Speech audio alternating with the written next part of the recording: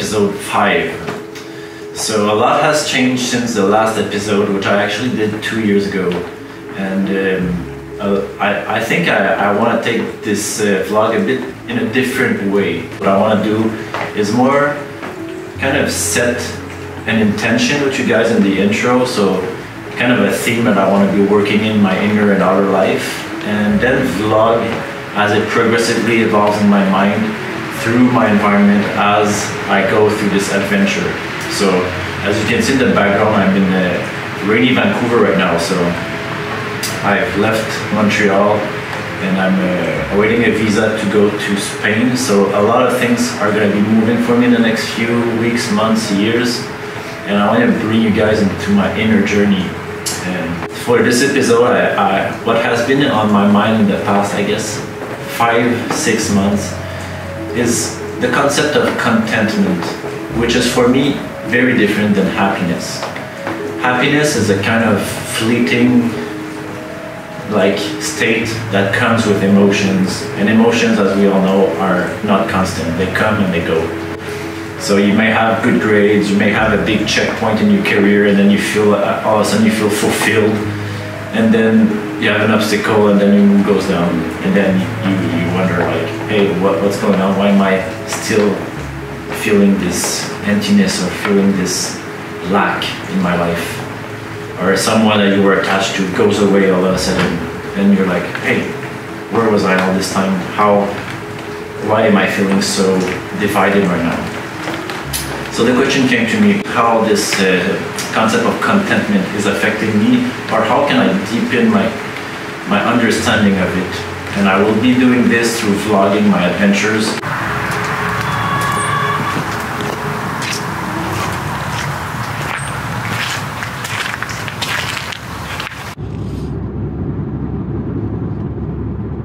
So as you can now see from the background, I've made it to Tofino on my little road trip.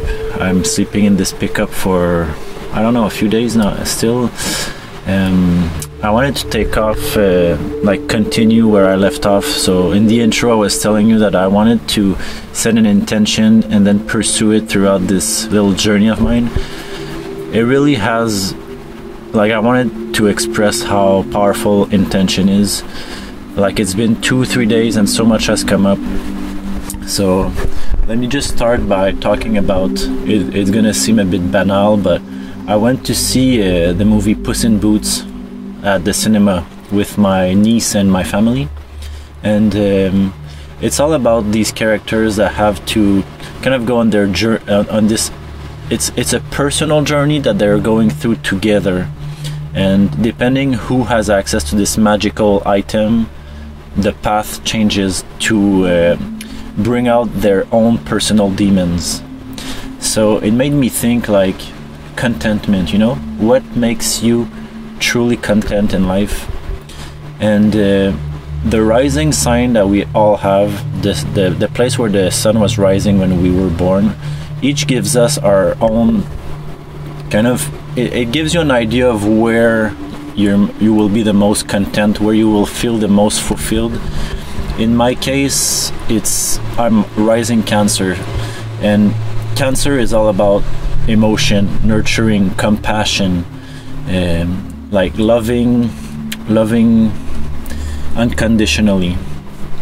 And that night, like I had like very powerful dreams about water, which which also kind of um, allowed me to see that I still had this uh, this guilt from a past relationship that I had to let go of because it isn't my true nature and my most authentic self to to love unconditionally. And that's almost impossible to do like unless you are you're living a life with no resistance which I am not.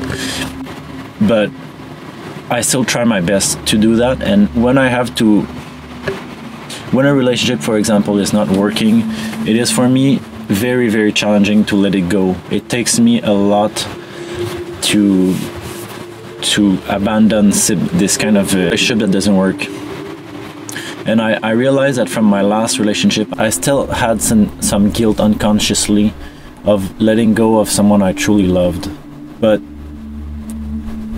magically, or I don't know how to explain it, but the next day I was watching this YouTube video um, about this guy that's very insightful about the chakras, and this adds to the the concept of contentment. Like, what is contentment in regards to our rising sign?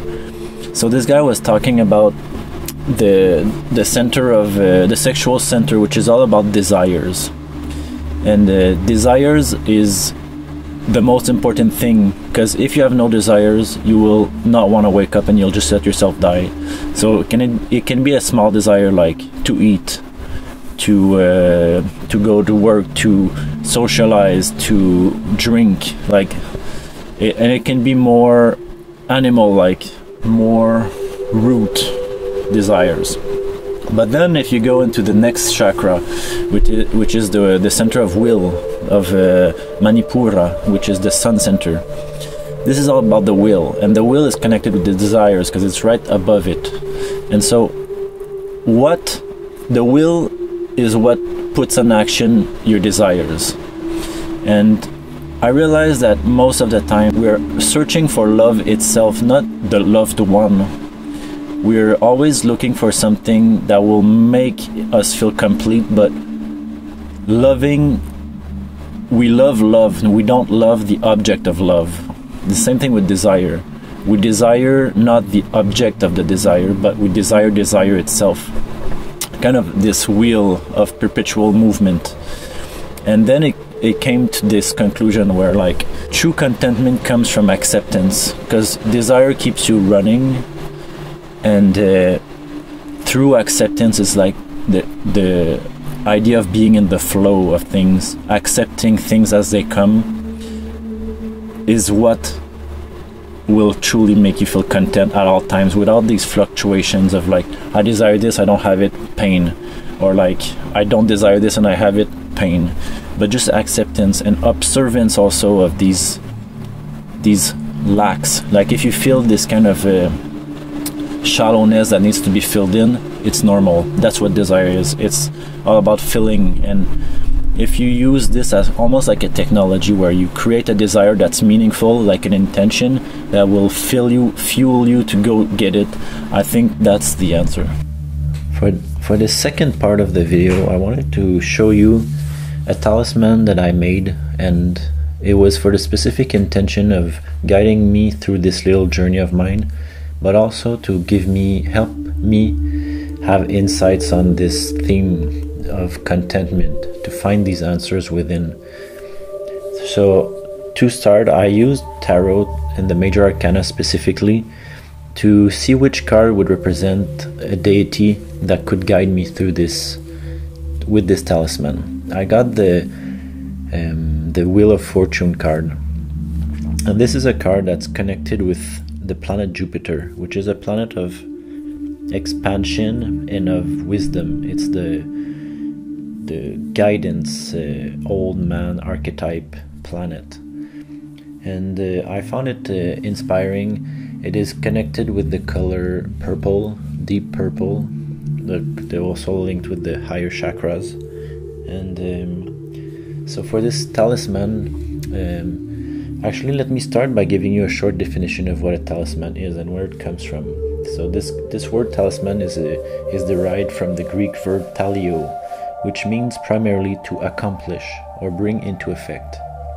But in its real and therefore higher sense, it means to dedicate, consecrate, and initiate into the arcana of temple mysteries. So basically, it is this little object that you create with intention the more intentional you are with it, the more it will kind of have, how can I say, a reflection, a deep reflection in your psyche, and uh, be able to activate some stuff in you. So you will therefore use sacred geometry, old symbolism that that you resonate with. It can be uh, planetary energies. In my case, I use you see on top is the planet itself of Saturn, uh, of Jupiter. The sides is all in deep purple, and it represents space. So, like the planet itself is floating on top, but is pouring down its energy onto this main object, which is the Sphinx, but more specifically, a Sphinx that was used in the Amun Ra temples. So the deity you've guessed is Amun Ra. It is a sun deity and it is connected with the higher genius or the higher self in the, the mysteries of the Kabbalah. It is connected with the the path between Netzach and Tifereth. Tifereth is the sun center, the heart. In our bodies, it is the heart. So basically, it is a talisman to help me connect from my lower chakras, from my more my desires, my bring my sexual energy up to the heart and have a, a connection with this higher self, higher genius that you can call it. So this scene that I've been painting depicts this sphinx, which is a ram.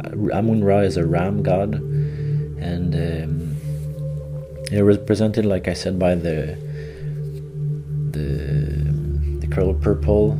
These on the sides, you see these little sigils. It's sigils that are connected with my intention of finding what contentment contentment means. I'll probably show you how to make one of those in the next video. And then the letter, the Hebrew letter below, is also connected with uh, this card of the Wheel of Fortune. So here it is gold, purple, and these little, um, praying mantis are also a symbol of Jupiter. So all together, it's this little object that you keep, you contemplate, and that gets activated just by the fact of making it.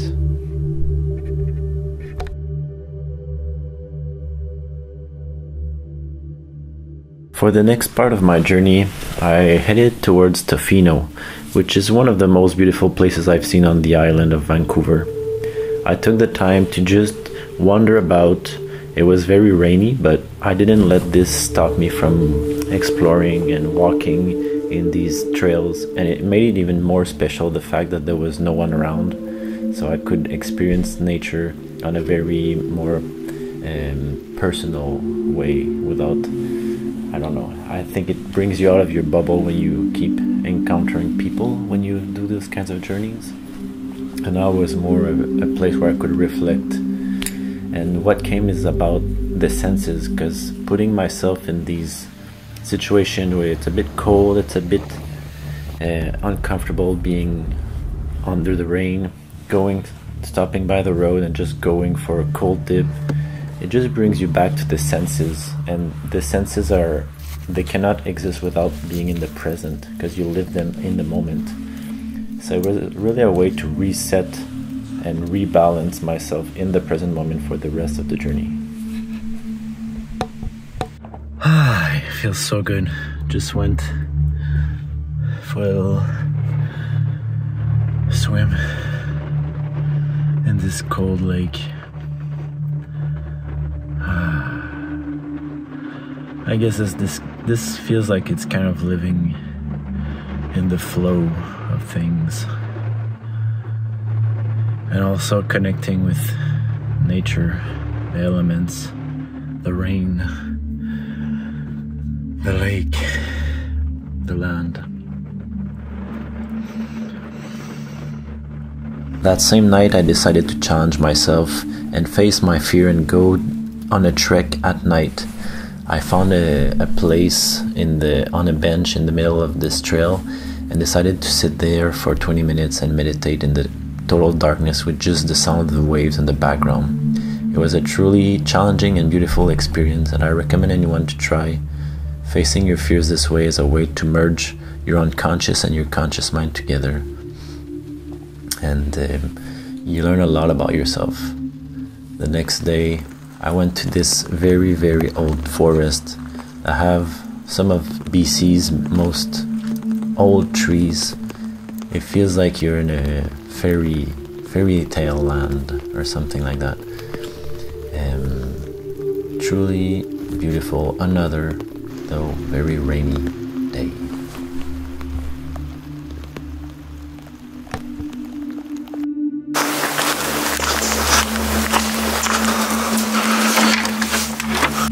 I finally made it back to uh, my sister's place. I am now at the same place as the intro Big difference is it's now sunny outside. Wasn't planned that way, but kind of enjoy it. So just to go back on these uh, images that you're seeing right now, this was my two last days in Victoria. Uh, again, it was very calming and refreshing trip. The whole journey has been uh, insightful I think what I'm, I take away from it is how this uh, solitary time that we take in our lives and add the ingredient of nature and you get something that's very grounding and very inspiring. I think it's important to challenge oneself to be alone and to face our shadows, face our fears because often we fear of being alone and uh, putting ourselves in a situation where we have to be is is where I think we grow the most. And uh, like this theme of contentment has allowed me to understand myself on a deeper level, but also as a collective. As I mentioned earlier in the video, I think contentment comes from being aligned on our path and each finding our own journey, finding our own place where we fit in in the puzzle. And it's hard to find when we we are raised in this very rigid structure. But studying astrology and our rising sign specifically, I think allows us to get a good sense of what will bring us the most contentment, where we will be able to find uh, the most joy. Often comes from the heart. That's what I found and as cheesy as it is like for me this source of joy is sharing and nurturing. And uh, this kind of adventure that i can share with you guys is just one step on this big puzzle that is my life. Um, i think from reflecting upon everything i've just been through where the most fulfillment comes that's steady throughout time is when I let my ego aside and I am more concerned with the others, with nature, with what's in front of me, what my senses allow me to feel in the moment. And um, I think that to arrive to this state, we must face those shadows that are, are always connecting us back to our past. And that's what I've been dealing with in this alone time. Stuff like cold bath and uh, cold plunge, like these night walks, really allow you, well, they allowed me to be in this state of presence that I needed to see more clearly the bigger picture of my life. And hopefully inspire you guys also to do the same. Take a weekend off, just a night time and one night, go walk in nature alone. Put music on, like with no lyrics, nothing that can alter your state, but that will just bring you in this mindset that will flow throughout your your little night journey. And uh, take the time to reflect. What are you afraid about? And where in your past have you felt the most alive? Where this fire, this inner fire, has been the most lit? And try to follow this path back to. Uh, to yourself basically. So i hope you this episode has inspired you in some ways. Hope you like this new type of content. I'm looking forward to bringing you on the next adventure. So please feel free to comment. Tell me what you liked what you didn't like what you would like to be discussed in further episodes. And um, yeah if you like the content subscribe. It helps me a lot to grow uh, with more uh, a bigger audience I will be going to Spain too. So follow, you can follow the, the next uh, developments of my projects, which will involve creating retreats where you can integrate on a more steady pace everything that I described in this video, but on a more concrete and structured way. So thanks again for being in this with me